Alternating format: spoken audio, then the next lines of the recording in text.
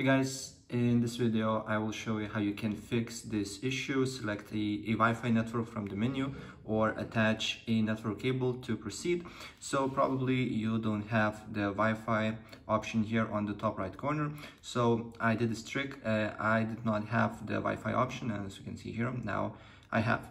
And in this video I will show you how you can uh, how you can have it too, right? So uh, first of all, what you need to do here, you need to uh, press on the Apple logo on the top left corner and shut down uh, the MacBook. And once you do that, then on uh, turn on button, you just need to tap one time and then quickly tap again and hold it, right? So tap one time and tap again and hold it. Here, uh, uh, as they say, you need to continue holding for the startup uh, options here. And now you can release, right? So we need to wait for a few seconds until uh, Mac loads up.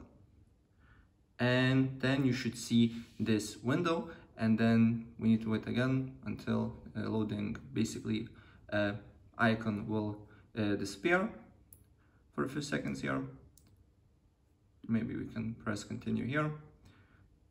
As you can see here it's quite easy. And now you can uh, select language.